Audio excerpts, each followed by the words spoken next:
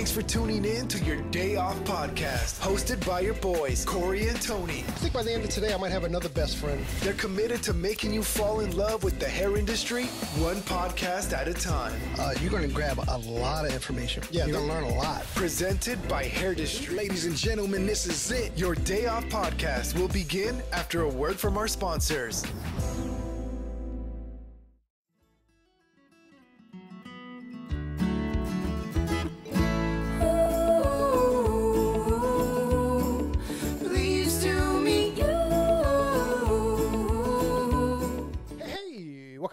Name is Corey, and of course, well, actually, I'm sitting with my other friend Katie.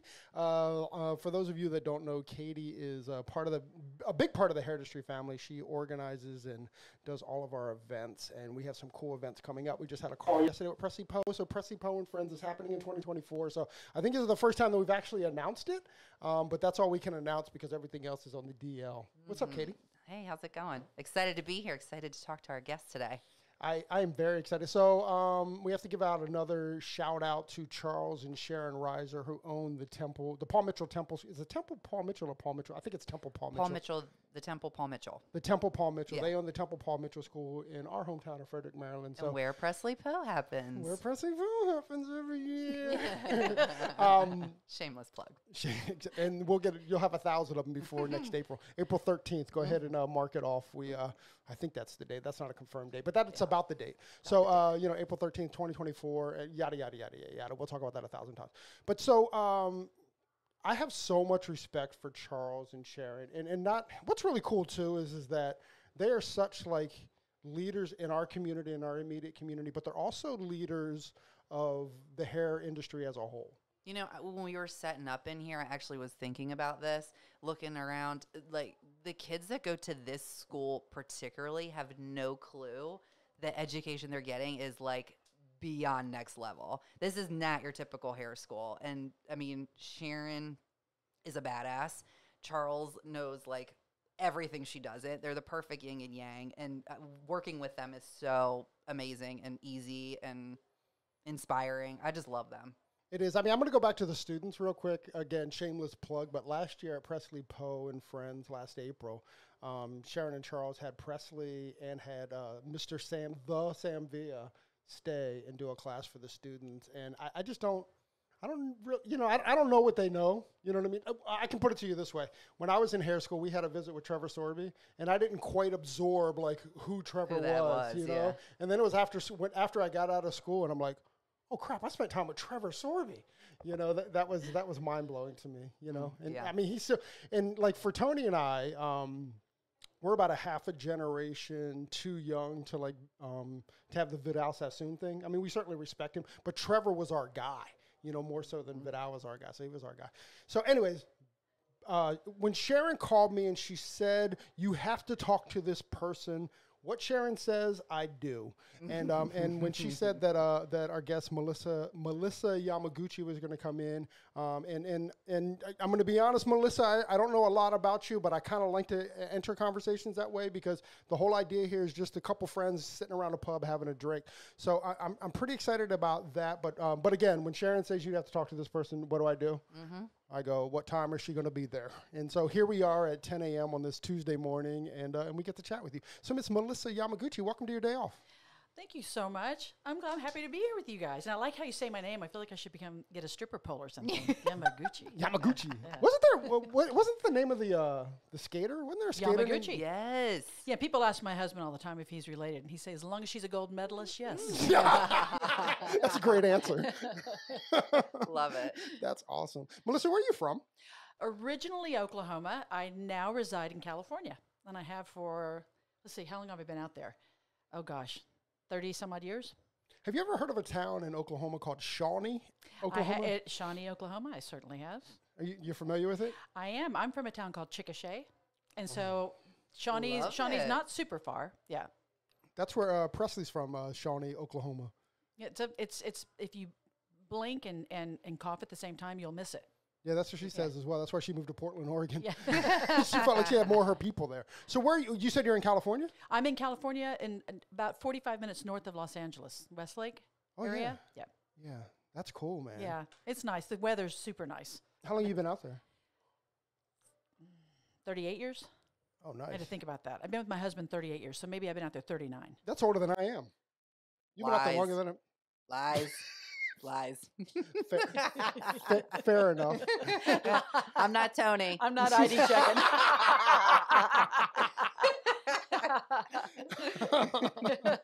That's funny. Melissa, how did you uh, how'd you find the industry? my husband. So I moved out to California or come out to visit my mom, and she's saying, "What do you want to do? Uh, what do you want for your birthday?" It was coming up, and I said, "I don't know. I think I'd kind of like to have my hair taken care of." That was the whole Janet Jackson and Rhythm Nation time.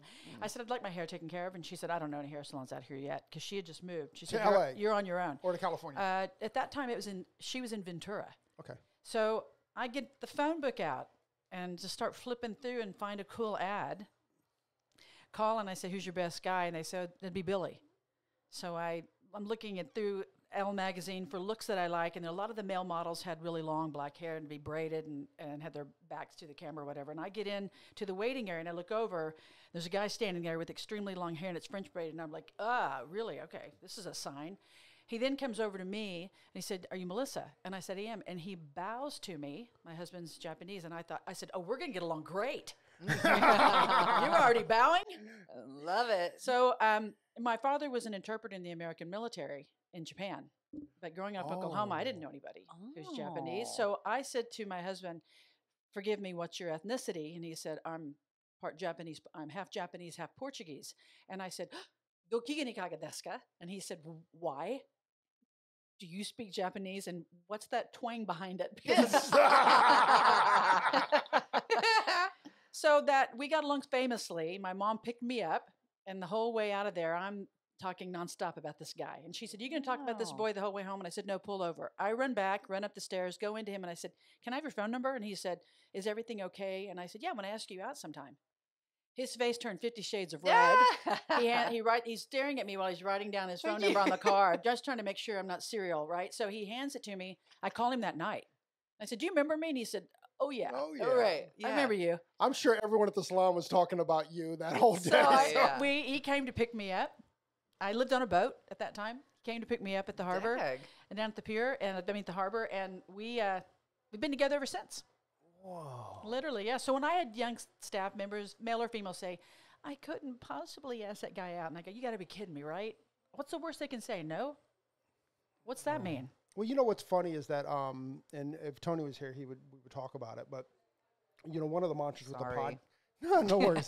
you're, you're better than that guy. Um, is that one of the mantras for the podcast ha- has has always or has been, and how we've built it and how we've met people was like the answer is always no until you ask. That's right. Right? There's never a yes on the on the other side of not asking. That's right. That's Right? exactly right. You got to you've got to take a risk. Well, I'd venture to say because I would classify myself as a strong woman, Mm-hmm. as I, very clearly you are, and a lot of times it's intimidate, like we're, it's intimidating, especially for men. Yeah. And so I think that women sometimes think about that, uh, you know, if they're before they're going to do something, and that's kind of the thing. It's like the reaction or what how they're going to think. Well, just do it. Like if that's who you are, just do it. exactly it. right. And I got to tell you something. Uh, we can get it. I know we'll get into this, but I have a my partner and I have a business partner and I have a podcast together, and we were working with the producer at one point who was very reactionary, and he would try to like you know hold the girls down. And I'm not talking about my breast. He would try to hold.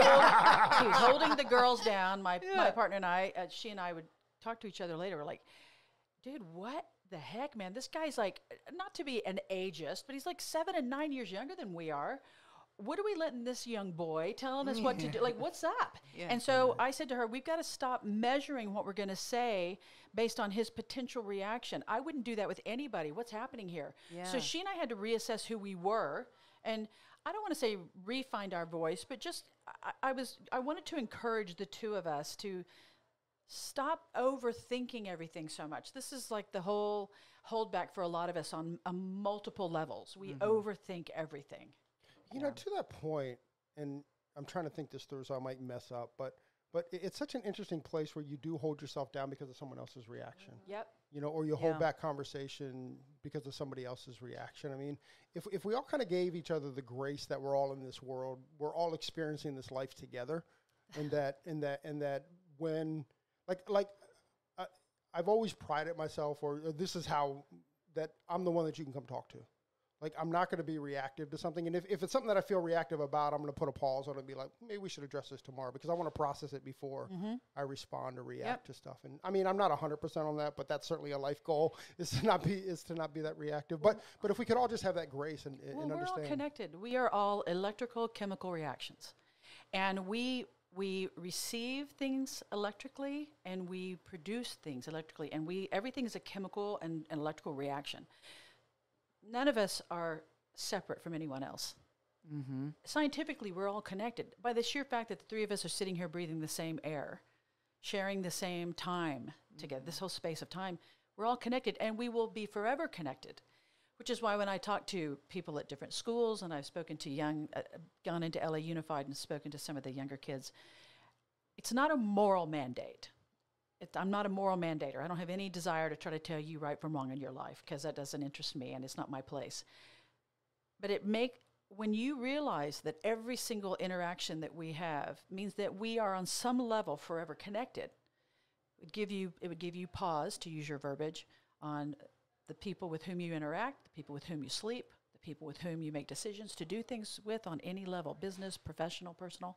So it just when you realize that that we're forever connected, you learn to see people differently. You treat them differently. You think of your interactions instead of just going through rote memorizations. When we go to schools, we are taught how to be workers and to not think.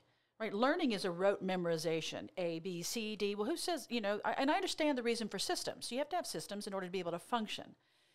But when you can no longer think for yourself and you can no longer give yourself grace and think, give myself a pause and, and think about the other person, well, who knows what he or she's going through or they're going through, then you if you can't do that and you're saying well that's not the way you're supposed to behave. That's not the way you're supposed to react. That's not how you're supposed to identify yourself. That's not how you're supposed to vote. Whatever that is when you d- put these judgments on people that's a fear base. And so you just got to pull back and realize we're connected. People react out of fear more than anything. I feel like this is, I'm to totally geek out for a second. This was like me being here doing this, like the, like us coming together and like, this was supposed to happen. Like we were supposed to meet. I'm like, feel like everything you're saying inside my soul right now. I love that. Like I really feel like, it, you know, and I totally put so much power in the universe and like, what it brings to you and you, right. you know the things it's supposed to so i also think this is a perfect time for you to kind of explain what you do and kind of how you, you're yeah. involved with the hair industry So when Billy and I decided to um, open our own salons, we we we opened one, and then very shortly thereafter, because we were the very first day spa in our area, we had um, farm to table chef in the cafe in the very front and we had organic coffee and organic teas and people would come in even if they didn't get their hair done at, at the salon and the spa they would come in and eat at the cafe. Everything was farm to table. Patagonia's in our area so patagonia was really really a huge advocate for supporting all the farmers and the ugly fruit. They would go and mm-hmm. collect all of it and then we would we would buy that whatever was available that day and Yeah. we would buy it and then then make food for our, our spa guest and we we shortly thereafter we started getting press and people started coming to us wanting us to franchise. No, thank you. We were young and we were this was our baby and we didn't want to put her in beauty pageants, right? We just want to take care of Yeah, her. So we just stayed doing what we were doing, but but uh, we started to grow and before we knew it, we had 12 salons and over a hundred and some odd. I, my husband and I. uh, It's a it's a it's a corgi fight between the two of us on, and who, on what the number. I say it was 175 employees. He's like, no, it was never that much. Whatever. it was a lot of people. Yeah. And so we had all these salons going, and I felt as though, even though our message was good, we started to. You can't homogenize your message. You know, mm-hmm. you can't. You spread yourself too thin, and and then you. I think you lose. And not everybody. It doesn't happen to everybody. It happened to us. We. I felt like we lost that spirit of what the Yamaguchi team was doing. So we started paring back. Um, some by some by economic force. Uh, you know, the, the there was the economic downturn of our uh, for a while there, and then the industry started to shift and change a little bit. A lot of the studios came in where people could run their own space, and things started to shift. So when that was happening, um, in the middle of that, forgive me, um, I was approached by the Salon Association, who is now transmogrified into the Professional Beauty Association. But they approached me at that time and asked me to be on their board, and I became their first female president, which I always found so interesting because you know, over 88% of the industry is female. Isn't that And I always thought it was funny that there's these old guys are, "Um, we think this should be happening in the industry. Wah, wah, wah." Yeah. So I, I was elated to be able to come forward. And uh, I was so president for four years and then Professional Beauty Association's first president. Um, and, and from there, a lot of my speaking engagements came about. And then people would be in the audience and hear me speak and say, tell their their auntie and their uncle, and I would get hired. It just started, you know, splintering. Love that. So I've been hiring. I've been. My husband and I have traveled all over the world speaking. A uh, few places we haven't gone into, but we've spoken all over the world about the concept of energy and and feng shui. Um, and yeah, what's a nice wh- white girl from Oklahoma doing talking about feng shui? Well, a nice girl who speaks Japanese. right? Right? So we we started teaching feng shui all over the world, and I um, have been hired a lot to speak. And I spoke at the American Heart Association as their MC. Cheryl Burke, remember from Dances with the Stars? Oh, yeah. She was going to be their MC and got sick the night before. They called me at the eleventh hour and said, "Melissa, will you be our MC?" And I said, "Are you sure about that? You guys are- You've never heard me speak, and I've been known to slip a few. But I so I spoke the next day. Um, I come from eight generation or five generations of school teachers, and I came in with the script, and it looked like a pig had been slaughtered on it. And they were like, what, "What's going on with the script?" And I said, "I've rewritten a few things." And they're like, "We've got we've got the the the um, the deck that goes along with it." And I said, "You're fine." Well, the keynote speaker was Mariel Hemingway, Ernest Hemingway's granddaughter. Right. And coming from a family of English teachers, they had some minuscule line. Our our keynote, uh, put your hands together for our keynote speaker. Golden Globe nominee Mariel Hemingway. Something that benign, and I thought, no one mentioned Papa, so I went, I went back and rewrote it. And she had the script, so she knew what her cue was to come up. But I didn't see her in the audience anywhere, and I'm talking, and then I go into our next guest, and I said. We you know, talk about royalty in America, and it's through literature and the arts. That's our royalty, as far as I'm concerned. And one of our royal leaders was Ernest Hemingway, and we're so honored to have his granddaughter who's done these things. She's coming up on stage, grabs my forearm, and says, We need to talk. And I'm just arrogant enough. I didn't assume it was anything wrong, so I just kept going. And besides that, I had the people from the American Heart Association still freaking off on the back end because I had changed everything. so, um, right after that, she and I met the next. We we met the next day, um, and we've been best friends ever since. And she and I have our we have a podcast together called Out Comes the Sun, and we discuss mental health and wellness and how to. We we've started the Mariel Hemingway Foundation. We're we're a resource navigator for people who don't know where to turn. You know, it doesn't matter if you're in Podunk, Oklahoma, or if you're in Los Angeles and New York. Sometimes you don't know where to turn because sometimes your insurance company doesn't cover help and you mm. don't know what your options are. Is it only big pharma? Is it something holistic? Is it something in between? Do I need to talk to somebody? What are different methods of talk therapy? What what are the is psilocybin a possibility? What's this conversation about ketamine? Who do I need to listen to? So we are bringing all that together through our resource navigation. And I'm proud to say here for the first announcement that John Paul DeJoria is one of our one of our uh, donators. He really came through and and and supported what we're doing. Oh, that's awesome. So we we do, we do that. I continue to speak all over about energy. One of the reasons I'm here with the lovely Sharon and the gorgeous Paul, uh, Charles. I love that. I love them just as much as you for all the reasons that you stated. And so I continue to speak about energy because if you own your energy, this is my tagline. If you own your energy, then you own your life. It doesn't own you. And if you don't make, I always taught my children to decide for themselves, to think for themselves, because if you don't, someone's going to think for you. Someone's going to decide for you. Um, when I've told this story, so people who are listening to you who've ever heard me speak before are going to hear the story again. Sorry, but I used when I would take my kids out to dinner. You know, my uh, son Nobu and my daughter Seiji, and I would say something like, "What do you guys want to eat?" And Seiji's was like, "Yeah, I want this." Dressing on the side. Let She me guess. Nobu wanted sushi. no, nobody didn't know when he's a little kid. He's like, I don't, he's like, I don't know. He's like five, and I said, "You don't know what you want to eat?" And he goes, "No, just a minute, mom." And he'd take a little bit longer. And I said, "What do you want to eat?" I don't know. So I reached over one time and tapped the gentleman's shoulder the table next to me, and I said, "Excuse me, sir, what does my son want to eat for dinner?" And my son's like holding up the menu, like, Mom! And like sliding down into the chair. And the guy's looking at me with a perplexed look. And I look back at Nobu and I said, I, I said, I'm just kidding. I look back at Nobu and I said, if you don't decide, somebody else will. Decide what you want to eat. And he was like, I'll take the mac and cheese. Yeah. so, so I've kind of Whoa. pushed that on my kids their whole lives. Yeah. Um, you know, think for yourself. Think for yourself. Don't listen to what I'm saying. Even question me. Question everybody. Question authority. I really sound like a kid from the 60s and 70s, don't I? So I just want I that's my mantra is stop being a pacifist in your life. Stop assuming that your problems are because of someone else. Someone else can instigate an issue that can make your life more problematic. But ultimately, how you react is your choice. Your next move is your choice. And so um, that's what I'm here to share today. Did you always like feel like that? I mean, at what point did you feel like the hair industry needed this? Or is this just something that you just always have done? I think this message is relevant everywhere. I've spoken to Yeah. the National Association of Female Dentists. Oh, yeah, they have that microcosm of, of uh, speakers. Yeah, we just can deduce it down to any kind of money grab. I, but I, I've spoken to everybody, um, Yeah. and I, but the hair industry, I have a love for because the hair industry, I don't do hair, I don't do makeup or facials or nails or massage or body treatments. Um, the hair industry embraced me with so much love simply because of osmosis, because of the guy I'm married to.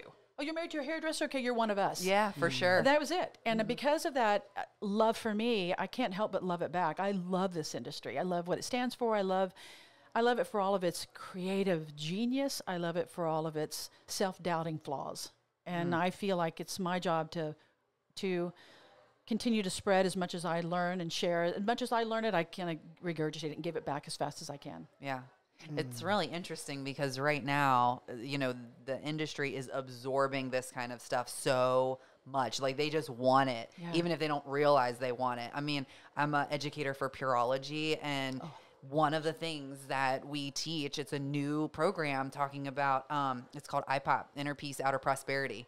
And it's like going through your day as a hairdresser. And if you're someone who is even five, 10, definitely 15 years in, you know, you know, these certain things like in between each client, you have to be able to reset yourself. Yes. You know, you have to kind of get that energy off of you and Yes. get ready to absorb new energy. That's exactly right. People are driving home at the end of your day as a hairdresser on coffee all day, wine all night. That's you right. know? That's exactly And you're sitting in your car just kind of staring off into space, m- hoping you make it home because all of your energy was given. That's exactly right. And that's the industry. Like we're givers. Like that's why we're here. not different than the nursing industry. Mm-hmm. And when I've spoken to the nursing industry, they'll say a disproportionate amount of us are overweight. And I'm saying, well, that's because you're earth energy and you're giving and loving and nurturing all day long. Yeah. And this is a this is a uh, for lack of a better term buffer because your emotions you've got people dying on you. Yeah. You've got if you you can only allow yourself to get so close Right. without it damaging your heart. So you're buffering yourself, even though you know, inherently know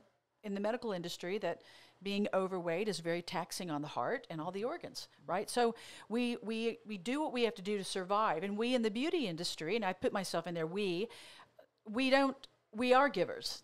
And we realize how therapeutic our work is. And so when mm-hmm. we're, you're, the minute you touch someone's shoulders or hand or face or head, you've they've given you a silent permission to enter into their space. Now some don't. Some mm. are still closed off and, and are criticizing and critical, but the and and blocked. But those that open, the majority of them do, because maybe so no one's listening to them, right? And so you're listening.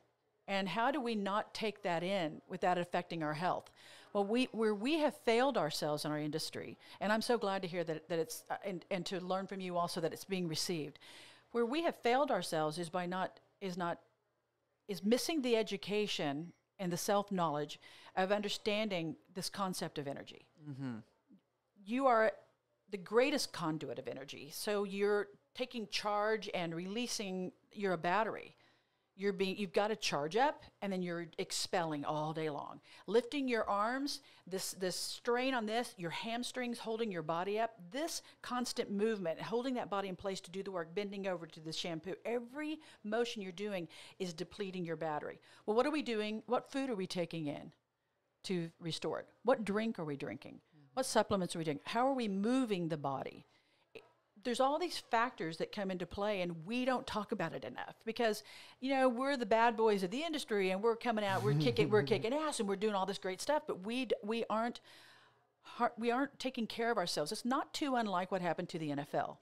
So at the NFL, you know, we it's the modern day you know, arena in Rome and we're watching the lions fight the gladiators. And we've got all these NFL players that are just crashing into each other and suffering from traumatic brain injury.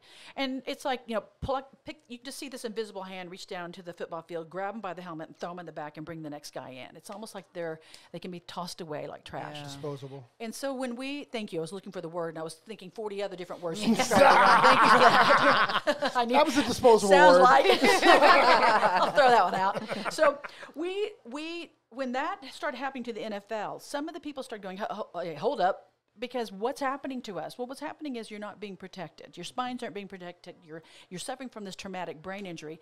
Well, this is the same thing on a different scale. What's happening to us in the beauty industry? We're giving and giving and giving and giving, and coffee all day, wine all night. It's the same thing. S you know, party all night. You got to get up in the morning. You're slamming a Red Bull, and it's like they're just going Yeah, right. And it's yeah. like, oh, slow down. Mm-hmm. If you want, to, why are there no old hairdressers? Because we're treating ourselves like crap in the interim. We've got to, you know, that's why we were like, there's a 90 year old hairdresser. We all should be 90 year old hairdressers. Yeah, yeah. We all should be cutting hair into our whatevers because there's, if the population, if the probability of us living in a healthy way into our 110s, 120s, even I dare say 130, if that probability is increasing every year, what are we doing? Yeah. What are you going to, you're going to retire at 65? Oh, I'm a badass. I'm cutting hair till 75. But then what? Then what? Then what are you doing after that? Because there's a high chance, high probability that you're going to be living another 20, 30 years. What are you going to do? You're going to be picking lint out of your belly button on a front porch? I pray to God not. I mean, if you if you're a creative genius, which they all are, mm-hmm. and all hairdressers in the industry are, they're artists. What are you doing? What's next? So it's all about owning that and realizing that it's not because he's going to fix it. No one's riding in on a white horse to save your ass. What are you going to do? What are you going to do? You know, I'm going to bring you back a little bit. Um, again, I think I'm putting myself back on a soapbox again. But but um, you know, earlier you were talking about um, you know what you consume i- is important to, to re to refuel the battery and what and, and how we take care of our bodies and stuff. But also part of that is, and I know when my life changed, it's when I changed my consumption habits, and and that's like what am I bringing in, what am I watching, what am I reading, and all that's important. Like like you know the the moment that I decided that like reality TV wasn't offering my life anything and and that and that entertainment to me became less important Yeah. than information grab. That that's when like I started to see the world a little bit different, and that's when I was able to um to really change where where I was. So uh, you know I, I think that what we consume Yes. you know, on an individual basis is also part of that that battery because there's sometimes and I'll throw my daughter under the bus, but you know, there's some things that my daughter watches that when I'm in the room, I can feel that battery, you know, draining. Sure. And that's not what that time should be. That time should be to like rejuvenate yourself and make you the best badass you can be. That's But you can only be that with a full battery. It's exactly right, and it's, I'm glad you brought that up because it is consumption. I sh- better word. You're just full them today. Disposable consumption. like, I'm taking you with me on the next Pictionary game and all that, all the different word games. So the the uh, the consumption of everything that we're taking in, everything you're consuming, your air. It's it's that's the epigenetics. What you think, how you behave, and the and the environment around you depends on your eh, determines your energy levels. So how are you thinking? Everything you think, everything you say, everything you do, everything you consume, everything you are has an electrical charge. Everything. So why not make a choice to make it the best? Why? Why we because I'll tell you why. We don't do it. It's marketing. The marketing genius of you need that Arby's burger, that Chick-fil-A sandwich, that McDonald's, da da da da da. We all know the we all know the jingles, right? Yeah. the marketing genius of slamming that into our brains when we are consuming the television and they're getting into us or it's the coolest ads you see in the in the magazines or whatever it is it's a form of control uh, i'm going to sound like a cons- conspiracy theorist here but it's a form of control because if one thing I always tell um, my I, I have a nephew who's gotten in trouble with the law before, and one of the things I've always said to him is just remember this: you are worth more as a head on a bed in that prison than you are walking free, making your own choices, because they can make money off you when that head's on the bed. Same thing with the medical industry. If you stay sick, you're worth more on, with your head on the bed of that hospital with tubes going in you than you are walking free and cured of whatever ails you. So if you get this notion of, hey, I'm more than a head on a bed, man. I'm, I've got, I, there's a reason I'm alive. I had seven miscarriages before I had my kids. So when I had Seiji and Nobu, I would always say to them, "Why are you here? Well, how come you guys chose to stick it out?" Because the other seven were like, "Yeah, tick it out. This chick's crazy. I'm out." Right? Why did you guys decide to stick around? Don't just take up oxygen. Figure your life out. Figure out why you're here. It's a short ride. Even if you do live to 130, none of us are going to get to age 129 and go, "Mm, "I'm tired, I'm ready to go." Maybe some of us will, but I've met, I've met 100 year olds, 90 year olds who are like, "Oh, "I've got so much more I want to do." That's how we all should be living every single day. As I've got so much I want to do, but we, if we journaled our time, and you said, "There's an hour watching Bravo." there's 30 minutes eating something fast on the run there's this much time spent complaining there's this much this this minimal amount of time sleeping five hours. Like what are you thomas edison? Get your ass back in bed. Go to sleep. You need to be sleeping seven eight hours minimum. What are we doing to make sure that our that we are optimized? Why am i more concerned about the fuel that goes into my car than i am the fuel that's going into my mind body and spirit? And so it's it's really that's why I say if you own your energy, then you own your life, man. If, don't you want to own your life? Like I, this is mine. This is my life, my path, my journey. If I and I can change it tomorrow, I can move around, whatever. But I've got to make that choice. And so we give away the choice when we don't make good choices for ourselves. You know, we're going to make bad choices. We're gonna we're gonna screw up because you've got to learn. And hopefully we'll be screwing up until that final day, just making making choices and screwing up and learning. But we've got to keep moving. We've got to keep going and do it for ourselves. Well, success happens through struggle and not in spite of That's it. exactly right. Right? Like, like the only failure in life is not starting. The only failure in life is not doing. You're right. If you think, of, look at it as like a plant. The minute you said that, I started thinking of a plant. If we were to put sound receptors on the plant as it's growing, it'd be like, ow, ouch, and it'd be complaining the whole way out, right? The growing pains of, of growing. But if, it, if, it- if you left it as the seedling when it was nice and cozy and comfy, it's gotta it's gotta go through something. It's gotta drop leaves and lose a couple of limbs to keep going. This we're the same way we have to we have to go through the failure. We have to have the bumps and the bruises and the growing pains and we have to. And then we then we it's but it's how we react to it. It's how we say if we complain about it charles said something to me really uh, interesting. He was saying that he somebody was complaining to him about some checkout person at a, at a grocery store. And he said you know what's funny about that is that what how long ago did that happen? Like four or five hours earlier. And he said you're still talking about that person that person. They're like they went on with their day and it's true, you carry, we carry the crap. And so uh, that's learned behavior. We just have to figure it out. But, you, but part of learning who you are is being honest about who you are. Uh, yeah, I eat spicy Cheetos. Yeah, I watch too much, uh, you know, junk TV. Yeah, I like, I, I dabble in magazines that I, you know, I, I read little junk magazines at the, the checkout, whatever. Oh, If, if you're honest about what you're doing, then you can start moving forward. I think that's one of the steps of the AA, right? They you identify. Like, yeah, I'll admit I have how many drinks, whatever they have to do. They have to be profess their honesty about it and stop BSing themselves. So make it take an honest assessment. This is who I am. This is how I behave. This is how I respond.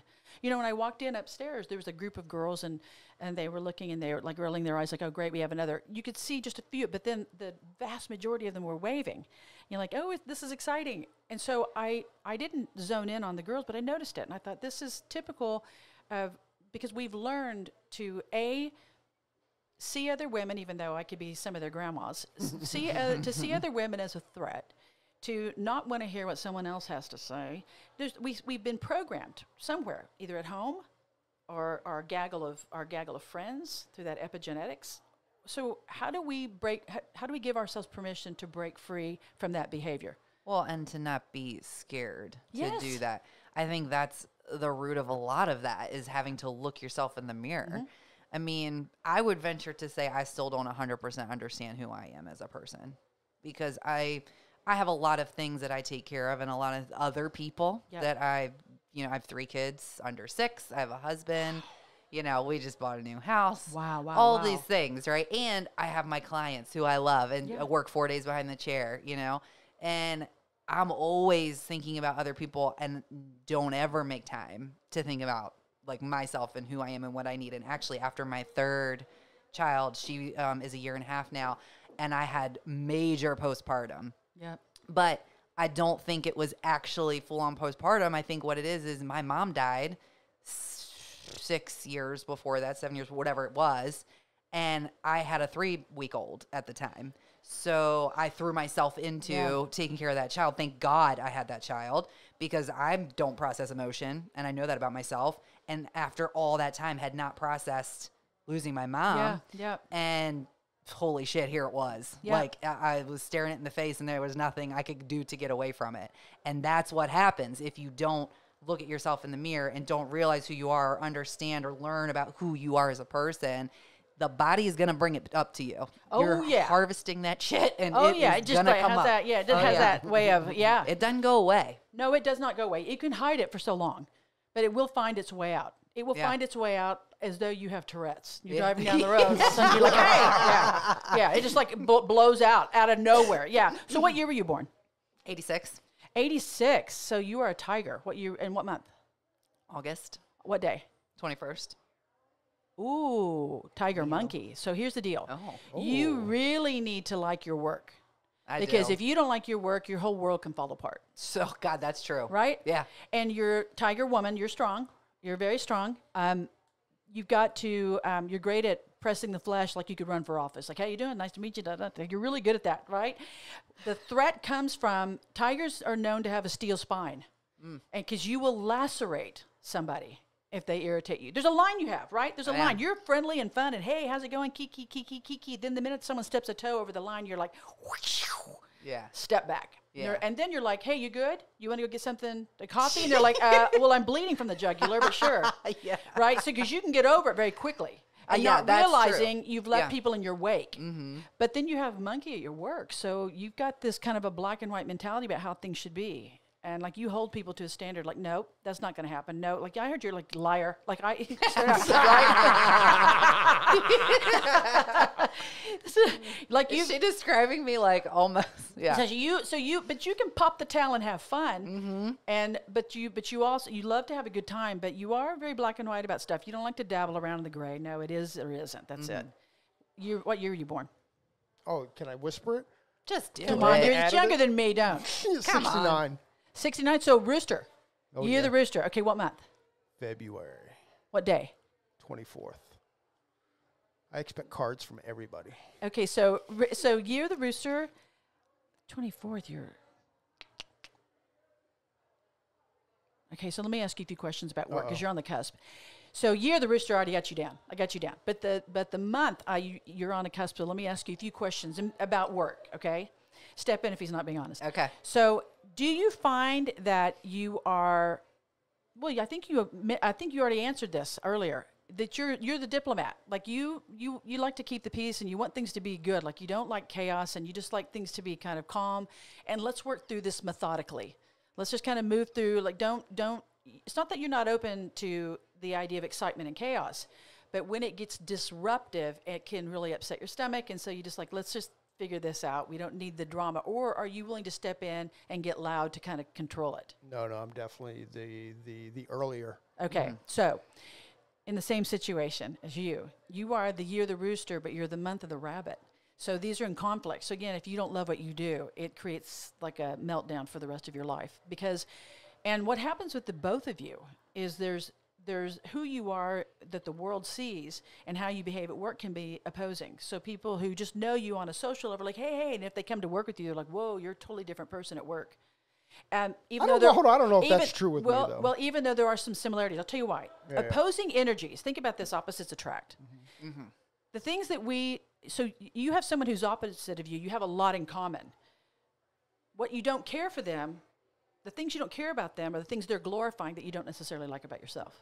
So you so who you are at work is diplomatic and you're careful with your words, right? So you have so you're not going to just blurt something out and get in an argument because First of all, you're facts based. You want to make sure that you know what's, what's being said. You're not going to. You was talking earlier, and I wish I'd asked you your energy earlier because that would have made sense for everything. You were saying earlier that if someone approaches you, you may say, um, "Let me let me take a pause. Give me time to process that." That's someone who's based in facts and knowledge, not emotion. You want to know what's going on before you make a decision. You're not going to rush in and go, yeah, yeah, yeah, yeah, let's do it. You're going to say, can we, let me find out what's happening. This is when there's a solution that needs to happen. I'm not talking about fun and let's all go get pizza. I'm not talking about that. I'm talking about when there's decisions that have to be made. Yeah. So if, if you are working in a place that is di- that's not satisfying you, it can affect you physically more than it can you. It can affect you physically even though you're quiet about it. Oh, that that's probably for sure. But I'll also tell you that it's a very that that's been a very very purposeful learned behavior, because until I was in my mid thirties, I was the opposite of that. I was very reactive. I was looking for reasons to react, and um, if you're the one that made me react, you're also the one that's going to pay for it. At least this is how kind of my mind was until I kind of had to like have a ha- have a strong conversation with myself and and, and realize that. Um, that uh, that those um, those emotions were weren't serving me. And, and the conversation that I had with myself has there ever been, and I'll put this on the table and we can chat it out. But has there ever been a moment where I've been reactive and gotten a positive result? And I couldn't think of one example when I've been reactive and had a positive result. So I said, this is a wasted emotion Yeah. you know and then and then the more that i tried to stand in that what happens is the less reactive i become. So what ha- and what i mean by reactive is like i get that thing in my throat i get that thing in my chest i get that thing. If you get it in the lower back back up because if you get in the lower back that that that's that's that's rage. That's where the rage lives is in your lower back and if it starts coming up your back and that's the time where i have to remove myself from a situation because i, I, I am much more concerned about being reactive than being in the room. However, he would never be reactive in front of his clients, but his family, me, I'm sure Tony, we've all seen the reactive, the the emotion. You I- there is times that I mean, you're very good at reining it. There's probably like twice the whole time I've known you. But uh, maybe that's to your point where it's like being at work versus home. Yep. Like you are more comfortable at home and the Oh, people sure. that you put but in it's your also circle. but in like i said earlier and i think that i think this is just a life journey is that am i 100% no am i striving to be 100% absolutely you know but but those also those moments are a good moment to check yourself like oh fuck i lost i, I missed it you know like like like i failed myself in that Oh yeah, moment I get that, and I I, Yeah. I want to take a moment to uh, double back on what you said. Circle back. You said I had a strong conversation with myself. I love that sentence. I just I think the fact that you put strong in there, because a lot of people say, "Well, I had a conversation with myself." You said I had a strong conversation. Like you're like, okay, sit down. We're having this conversation. The fact that you got real with yourself is so huge, and a lot of people don't do it. But you've got the year of the rooster, so you oh, we're pay back to that guy Yeah. Yeah. Who's that cocky cat? who's that cock So you've got you pay attention to detail. You've like you notice little things, and and you've got the the thing that I always say whenever I've if you have to have a um, a trial lawyer, get someone who's got the year of the rooster energy, because man, you can argue a point, especially when you believe in it. That is true. Oh yeah, Holy shit. what That's true. Because we have conversations all the time about like events and stuff that we're going to put on. He's like, okay, well, but think about this. And I'm like, mm, mm-hmm. I, I- we- here, I'll tell you exactly what I'm working on. And Katie, and Katie, Katie's my reason is that um, Katie, Katie's very emotional, and not in a bad way, but in like she gets excited about like, oh, we should do this, or or I'm thinking we should do this, or whatever, and immediately my brain goes to like, how does this work practically? And then, but sometimes like. And I apologize. I'm apologizing. I probably apologize all the time, but but but immediately I go, well, this has to work and this has to work in order for that to work.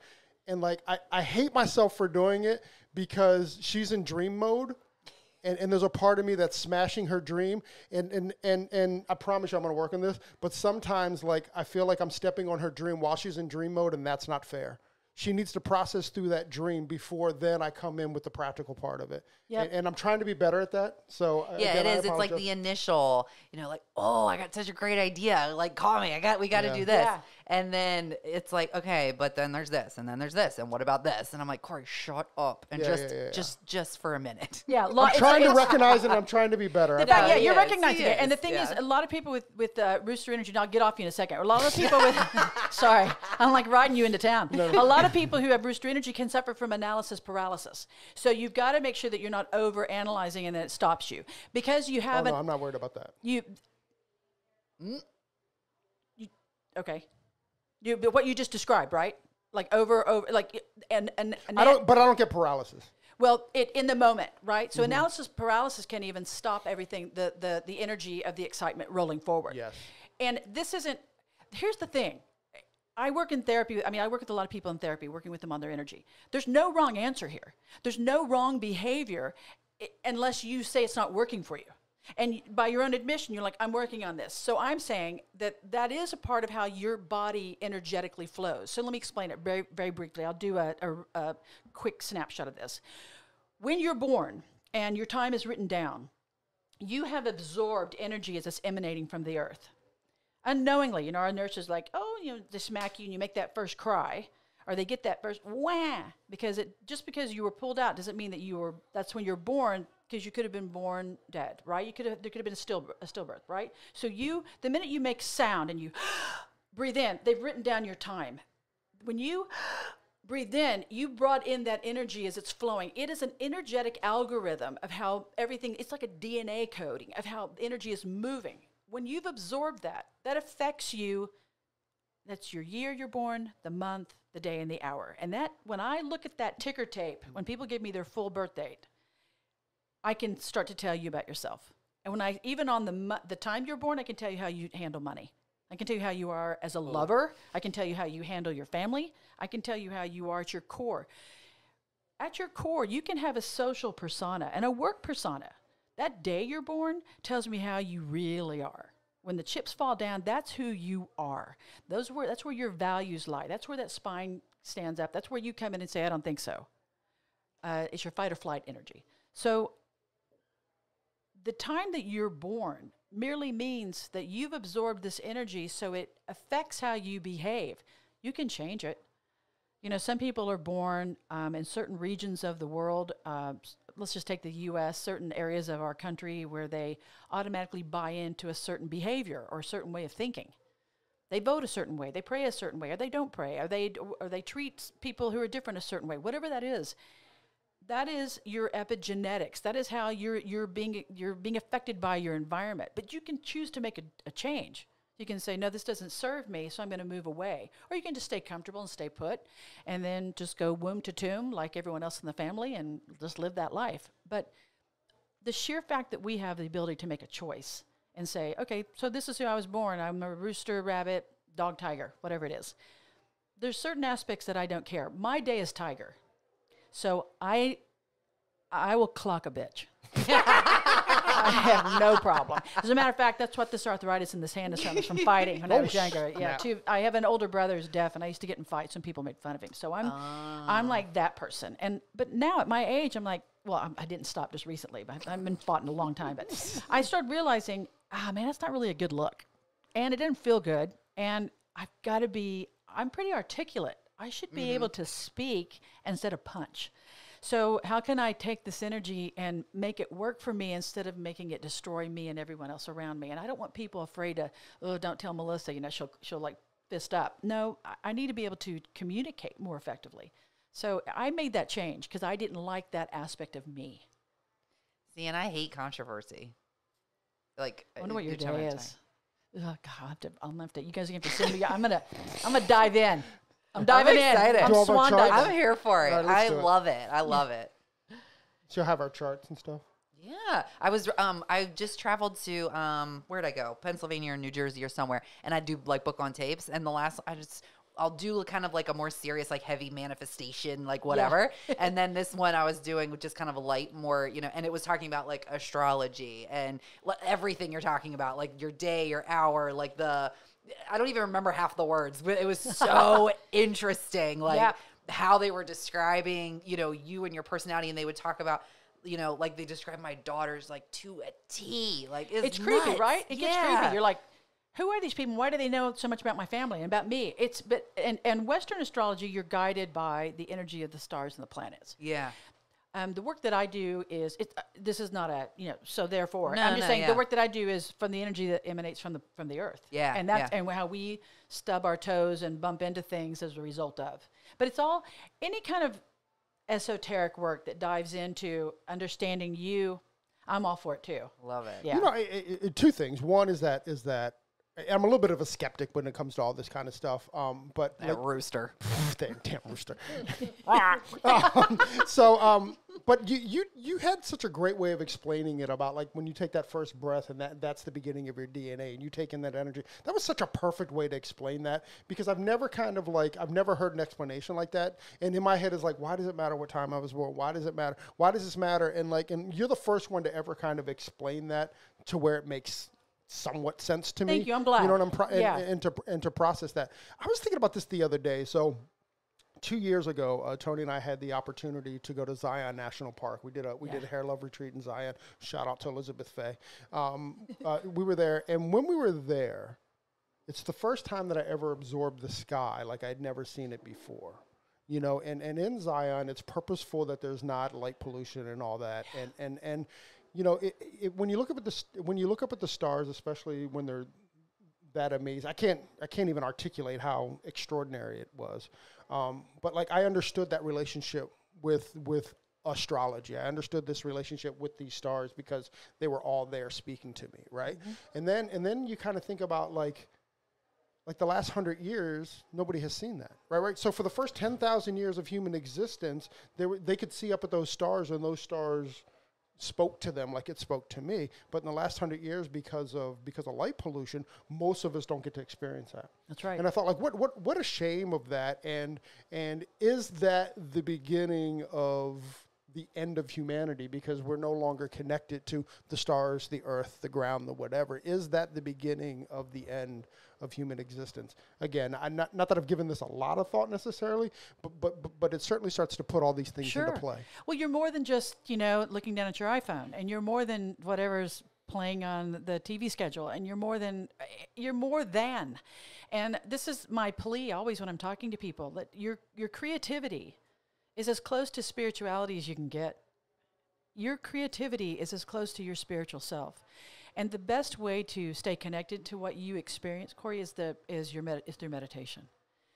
Um, And breath work. I'm a yeah, big fan huge, of breath huge. Well, and and good breath work can be part of your meditation, right? And it's that. Um, and a shout out to Andrew Huberman.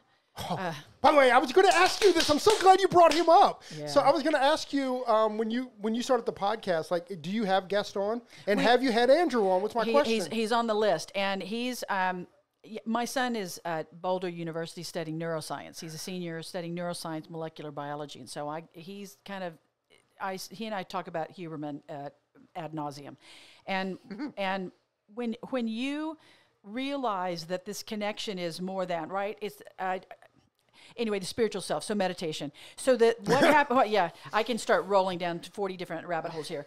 The the when you meditate, it allows your brain to to get quiet, and when you incorporate breath work with that, it's supersonic, right? It's so we are so caught up on that on the hamster wheel of that marketing and what we've got to do and we got to get the house with the fence and we got to get two dogs and, and a cat and whatever. We got to do this stuff that we are losing purpose. And, and i'm not talking about that on a religious level. I'm just talking about why are you here?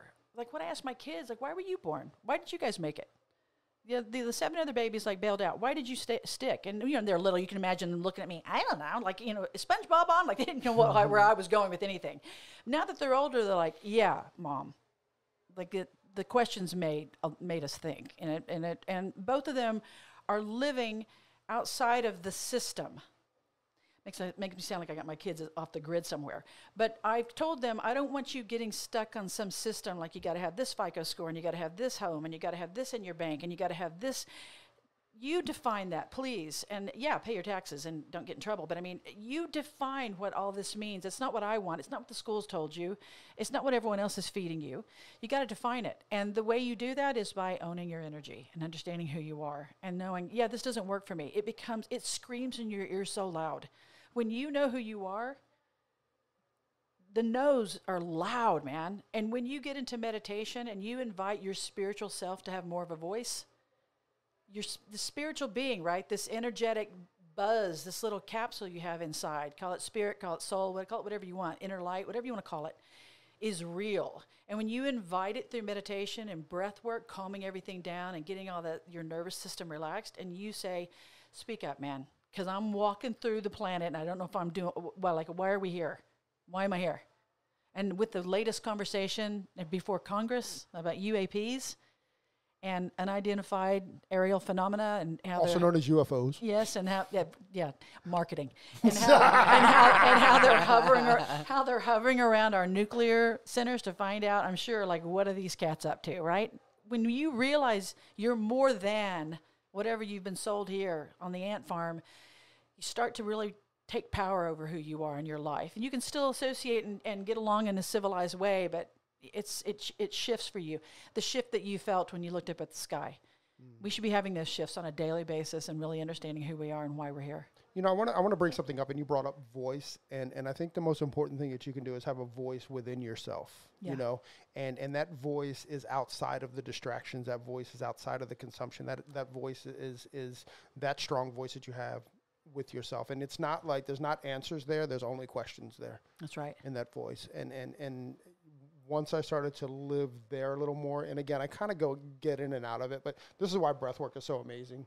Um, I just I had a breath work on Saturday, and I couldn't believe how calm and, and calm and relaxed I was, but how much resistance there was at the same time. Oh yeah. You know, and, and, and kind of breath work was like now I was consciously going, oh, here's the resistance, but but it's on a deeper level. It's so deep Oh yeah. um, in there, and, and it was and I remember, and again with breath work, you kind of want just like with yoga, like you want those emotions to come through, but then you got to let them go.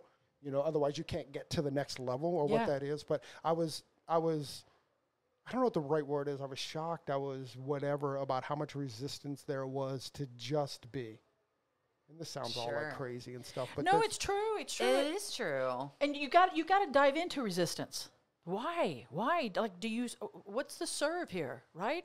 So emotional waves, right? They come at you, and every time that's that comes over, and sometimes people, I've had clients just go, I, "Melissa, I'm crying, and I don't I, like logically, I have no, there's no reason for me to cry, I've got a story about this. but I'm crying, and I just say, your body. How does your body? We talked about how you don't take care of yourself, and the body kind of punches you mm-hmm. later on. When you're not facing stuff and not dealing with it, not doing a deep dive and working on self, the, the body will cry. It will have you scream. You'll get angry at somebody, some guy driving by and have road rage, and it's like, wait, why is that? Why did that guy really? Why did that upset me? Right. So mm-hmm. you you if you when you don't deal with it, it will make you deal with it. Maybe not today, but it will. Yeah. Well, I think I think that comes back down to the word manifestation, right? Like you manifest that. So if if if you're holding on to that, how it manifests is what you have control over. That's right. You know, and if you're manifesting because somebody cut you I off like in that. traffic, you know, then that's the kind of energy that you're going to manifest. If you're manifesting a better life for you and your family and and, That's and a calmer a calmer self, then that's what you're going to manifest. I mean, I think it, I think it's pretty logical, and I don't think that it's I don't think it's like woo woo at all. You do manifest the energy that you put out. But That's that's right. because that energy is what lives inside of you. And it's scary for people because that's too much control for some people. It's it's nuts. Manifestation is so real. At like probably six months ago, I read like a couple of books about it. I got some crystals. I got all the things, and I'm like, uh, it's Crystal, so, she came to our hair show.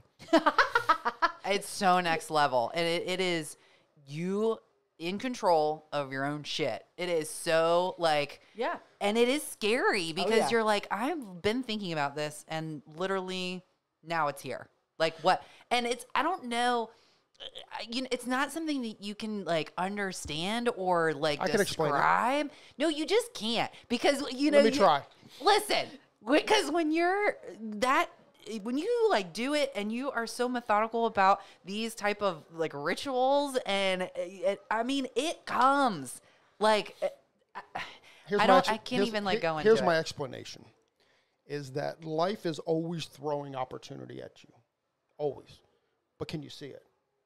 Is the question. And- And when you're manifesting and you're manifesting specific things, then you see those opportunities coming. Like life daily is throwing thousands and thousands of opportunities on you. And then when you start to manifest and go, okay, this is what I want for my life, or this is who, where I want to stand, then then those things have always been coming. You just haven't been able to identify them. You know, what's that saying? Like when when the when the student the teacher arrives when the student's ready. Yep. You're just the student of your life now, Mm-hmm. right? And those teachers come. So so I think that that's what manifestation is. I, I, I'm not discrediting it at all. But I think what it does, it just makes you hyper aware of what you're going to focus on, and hyper aware of where those opportunities lie. I mean, when I was pregnant, I'd never seen so many pregnant people in my life. right? They Yeah, were there all along, but I never saw but those know- bumps. but But you know, she needs to to lay out the this- cheeseburgers. to this, and not just to talk about but the three of us on a table, but but to this, I can tell you that that The moment we decided to start serving the hair industry is when the hair d- industry was open arms and open heart about it. Yeah. You know, the moment that we decided to serve the industry with the podcast or or with whatever we're No doubt. doing, you know, we're we're we, we, we're o- our funnel is from a place of servitude. Mm-hmm. You know, and, and the industry has been incredibly receptive to that. And we, and me, I was 50 years old when we started to manifest this with no connection. Now I'm not going to say no, but but with limited connections within the industry. Mm-hmm. You know, but then the industry opened up and said, "Hey, come on." And this is what happened. This is this. I, I kind of meant to bring this up earlier as you were telling your story. Like like you were just in servitude to the industry. Yeah. So of course the industry is going to open up. However, you can't sit back back to consumption. You can't sit back and consume a lot of like our clients suck and you need to do this and you need to do that and you need to run your business this way. You can't That's right. consume all of that and think that the industry or think that people are going to have an open heart. You know, again, you are manifesting that as Yep. well. Yep, 100%. And I, the, the thing about manifesting, to use the word one more time, is that it puts the power back in your hands, as I was saying earlier. And we're afraid of that because it's easier to do what you're told. It's kind of easier to do that. You know, it's that nail that, that sticks up gets hammered down mentality. And it's like, ah, just, just comply. But That's the girls upstairs. questioning and yes questioning and and well, why and it doesn't mean i won't do it but why why is it necessary and so forth all that stuff is is vital to becoming your best self. And really while we're here why not optimize this time? Why not make this the best? Because i i don't personally practice the idea the idea of um coming back you know? I'm not i and you'll come up for the word for me because i'm i lost it there i'm sure you'll come up with that I, I don't i don't anticipate that i'll be coming back in any shape or form. I'd probably come back You mean like after you die, there's no like resurrection? Yeah, I don't. I, for me, I don't. I don't imagine I'm going to be reborn into something else or someone else. I don't imagine that. I. I. I don't. I, I hope not. I hope whatever's inside this capsule that's inside gets to go to the next the next level. I just want to. That sounds very Waco to me. I just. Re- I don't imagine that I'm going to be coming back as a praying mantis or something. You know, I just think. I just think I'm going to keep going. So while I'm here. And while I'm cognizant, maybe I will and I won't be cognizant. But when I'm here in this thing that I dropped into, this body, I want to maximize it. I want to optimize this life and make it the best I can. I really do. I don't want to putz around wasting time. Melissa, you're Wow. amazing. This has been an incredible conversation. I could talk for four, or five, You six, guys are awesome. hours about this. Um, we literally just crushed an hour just like that. Really? Yeah. Yeah, that's amazing. Melissa, how can people find you? How can people live in your energy? How can they tell us about the podcast? They tell us have to about hear the Mary Lou- podcast. Yeah, yeah. So, uh, Mariel and I have a podcast called Out Comes the Sun on Dash Radio. You can find us on the Mindstream section, Saturdays and Sundays. Um, and then we, you can find me on Instagram, Melissa Yamaguchi. I'm really pathetic at social media. I just, I get going so fast. I do a, a class on Clubhouse, and the gal, I have to have gals host it because I'm, you know, the phone's on, but I'm like staring off and talking, and I don't. They're my one of my get friends on there said, Melissa, are you seeing what people are saying? And I don't even have on my glasses. I'm not looking at the phone because I'm just going and I'm talking. Mm-hmm. So I do classes on Clubhouse. I, I I'm on Instagram, but I'm I'm kind of pathetic at staying on top of it. I'm not like posting all the time, but that's where I can be found. Um, and I get DMs all the time, people wanting to know stuff. Um, I speak quite a bit, and I will put my classes on there every once in a while. Um, but I'm and I'm also going to be having my own show on Dash pretty soon, where I'm talking only energy. But our show, Out Comes the Sun, is really we're addressing mental wellness and what you need to do proactively to ensure that you are mentally sound, and that's a that's a daily focus. Mm, a moment focused. Yep, you it know? is. It's like one moment at a time. Every breath, breath in, breath out. Yep. What's the what, what what's the Jesus name? Uha. I don't know You breathe in. So Yeah. th- there's this there's this theory that like the way you pronounce like God, it's not Jesus, it's God. The way that you pronounce God's name is the inhale and the outhale. I like that. I like that. You breathe God in, you let God go. You breathe God in, you let God go. So it's it, it's uha. I think what i- i- is is the pronunciation or the original pronunciation of God, which is just the breath in and the breath That out. makes so, sense. So Makes God is breath. I like it. It makes sense. I like it too. Hmm. Melissa, you're amazing. I, I, like I said, we could do this for hours and hours and hours. I, I appreciate your time. I appreciate you spending time with us. Thank you so much, and thank you for hanging out on your day off.